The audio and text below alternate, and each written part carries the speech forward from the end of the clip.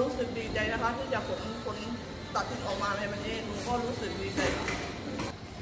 วันนี้หนูก็ขอขอบคุณพี่น้องชาวไทยทุกคนนะคะ ที่ส่งแรงใจมาเชียร์หนูในวันนี้ ก็รอบต่อไปก็ขอพี่น้องคนไทยทุกคนส่งแรงใจมาเชียร์หนูเหมือนเดิมนะคะ ขอบคุณค่ะ